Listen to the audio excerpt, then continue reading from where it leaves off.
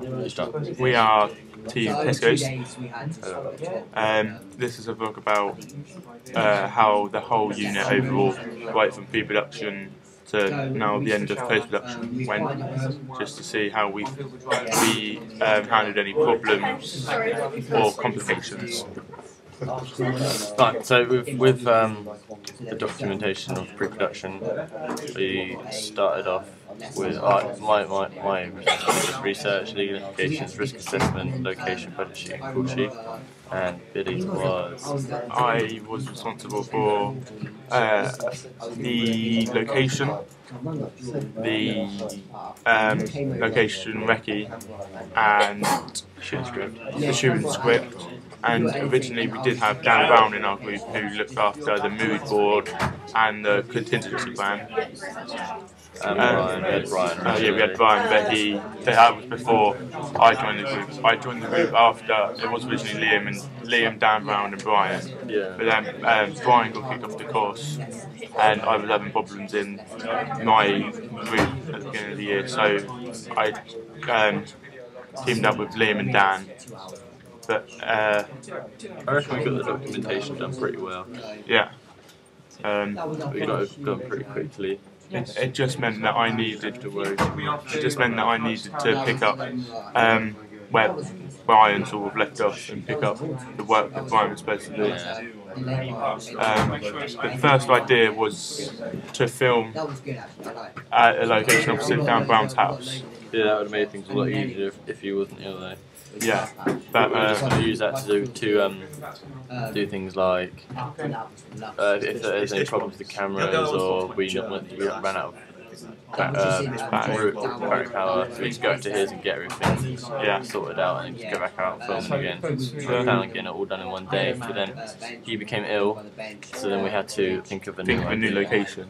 But um, our I did, didn't have to really change much. No, when we had to change location. Because it was originally you had Liam as just an ordinary normal guy walking through the streets in this country. when a killer sort of approaches him sig- signals that he wants to kill Liam. And at the end you see then they, you sort of just see the killer chasing Liam. And then uh, at the end you just see Liam laying on the floor dead. but um, Uh, production went pretty well. yeah we changed the location to um, the Monastery car park by the bus station Seems like it, doesn't?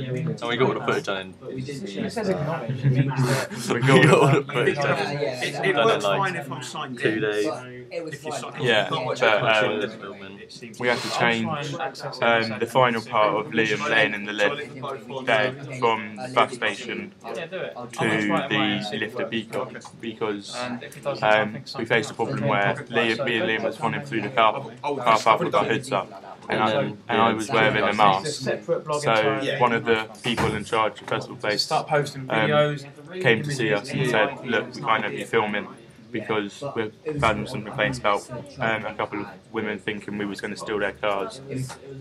And no matter how much we sort of explained that we're not going to steal anyone's cars, Yeah, exactly. there we had to sort of get out quickly. Yeah. We were new Um, to it. so- Post production, or like editing and stuff went alright. Yeah, we Like, we had like different ideas what to do. Like we had to just had to like sort out the text. The only problem really was like changing the song. So I had to change the song. yeah, the song was originally seven, eight minutes, and we had to try and cut it down to Two and a half. two and a half minutes to fit the video. But I reckon it went alright. Yeah, uh, we did manage to capture all the footage when we was in the car park, but we managed to sort of use Premiere and flip flip a couple of the clips to make them fit Yeah. to the clips that we didn't manage to get after we got booted out.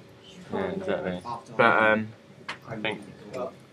we And then we both had something to do with it then. So like you was doing the editing while I Yeah. was doing the so there was no one ever. We was never at a loose end. and then we like kind of redone the storyboard as well. Yeah. It changed. Uh, I think people like the video. Yeah, we We had asked the people who like the video. It was just, just, it was just. You got to think of the video. It, it was amazing. Like about The reappearing and disappearing hat. So after that, That's I forgot about my hat. Who- who- who- How did you find that out? How did you, how did you just not just read, you didn't just read a, a, a, a, a Twitter blog from someone We were that connecting- No. you, you, Bit like- you No, I saw, I saw it during the music video when I watched it. Okay. Thank you. That's alright. Ah, good.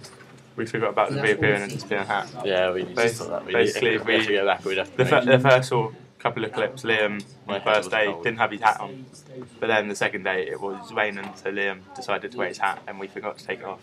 So Yeah. you magically get a guy magically pop a hat on his face, And then puddles just magically appear as well. Yeah, because it was Second day raining, filming. which meant the running scene with Liam had to mess up a bit because Yeah.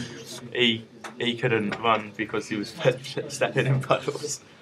Yeah, Um, exactly. I But, think- yeah. I think overall it went well. and then I think it's also Shannon! Shannon, come here. Come here. X amount of time. and then Don't be gay. that's right. And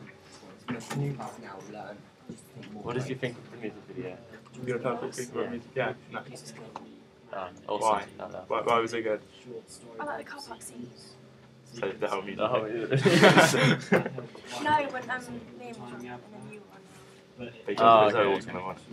My awesome, my awesome run. Thank you. And the lips. Mainly because you died. Yeah. Um, I think that's it. I think it's good. I think Good criticisms.